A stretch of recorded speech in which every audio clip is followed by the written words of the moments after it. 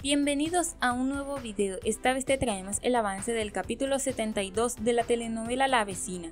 Ricardo al enterarse que le dispararon a Antonio se hace la víctima y le pregunta al ingeniero Uribe cómo está él. Juan Carlos se acuerda de las palabras que le dijo Andrade y decide comentarle solo lo que escuchó en las noticias. Ricardo que sorprendido le pregunta al ingeniero si después de todo lo que está pasando va a cerrar el ducto. El ingeniero le hace saber que hay alguna posibilidad. Luego Ricardo, mientras está solo, expresa que si Antonio falla, cierran el ducto y él volvería a la capital, lo que significaría que Ricardo pierde. Entonces empieza a maquinar que le urge saber quién es el informante que tiene Pedro en San Gaspar.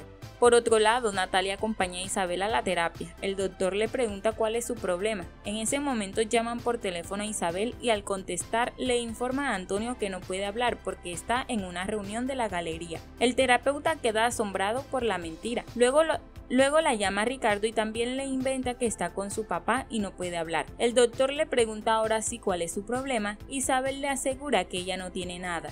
Cheo está que se come a Sara a punta de besos. Ella le pide que pare. Su novio le dice que ha esperado tanto ese momento que no lo quiere dejar escapar. Al aferrarse a ella, Sara lo esquiva y le pide que lleven todo con calma. Sebastián quedó en encontrarse con Titina. Al buscarla en su casa ella le quiere dar un beso, pero Sebas no le permite, además que empieza a tratarla cortante. Así que se sube al auto. La fiera le pregunta si no le va a abrir la puerta y Sebastián le dice que no sea payasa y que se suba rápido porque después llegan tarde. Al día siguiente Antonio le pregunta a Sebastián cómo le fue con Titina y él le cuenta que la llevó a ver una película aburridísima, así que le agradece porque su plan de deshacerse de ella está funcionando.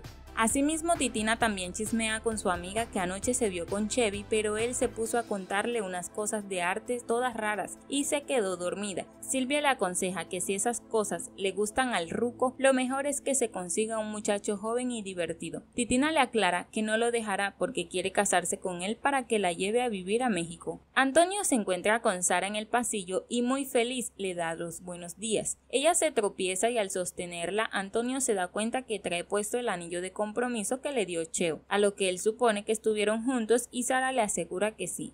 Simón le pregunta a Sara por qué trae el anillo puesto. Ella le dice que Cheo se lo dio pero no para casarse. Su tío se sorprende y le pide que le explique cómo es eso. Su sobrina le dice que solo se lo puso porque Cheo insistió en que lo tuviera. Dice que porque no es con esos planes de contraer matrimonio. Por otro lado, Roque le dice a su amigo que celebren porque volvió con Sara. Cheo le hace saber que le dio un anillo de compromiso pero sin compromiso. Roque le hace ver que todos los días atrás estuvo desorientado, así que lo invita a unas chelas. Por otra parte, Ricardo está revisando los planos de la planta y le está explicando a Pedro que investigará dónde pueden conseguir una válvula en la que abran sensores sin que los descubran.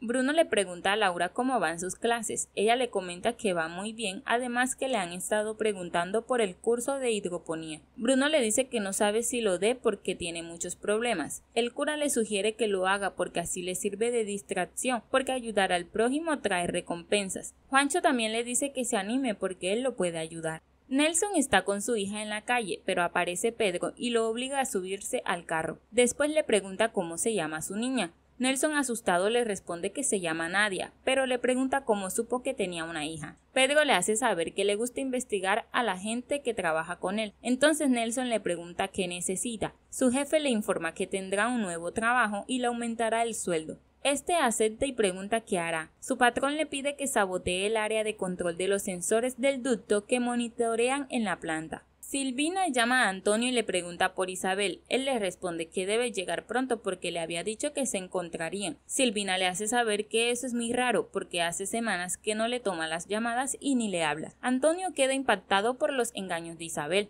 Mientras tanto, Nelson se niega a robar la información de la planta, pero Pedro lo amenaza con perder a su familia si no coopera, así que le pide que tome las indicaciones. El vigilante llama al apartamento de Sebastián para avisarle que Titina lo está buscando, así que corre a organizar un imprevisto de yoga. Cuando abre la puerta, Titina emocionada lo saluda, pero él todo amargado le dice que le está interrumpiendo su clase de yoga, entonces la obliga a hacer lo mismo y ella de obediente le sigue. Cheo conversa con Sara sobre matrimonio y ella le dice que le dejó en claro que no van a tocar ese tema porque no quiere casarse por ahora, además que no quiere que la mantengan. Juancho llega en ese momento y saluda a su cuñado. Luego les pregunta para cuándo la boda porque eso de noviecitos ha durado mucho. Cheo le da la razón al chamaco mientras a Sara se le quieren salir los ojos de rabia. Por último, Antonio no deja de pensar dónde está metida Isabel y empieza a sospechar de que tiene algo que ver con Ricardo. Hasta aquí este avance, si te ha gustado déjanos un like y una suscripción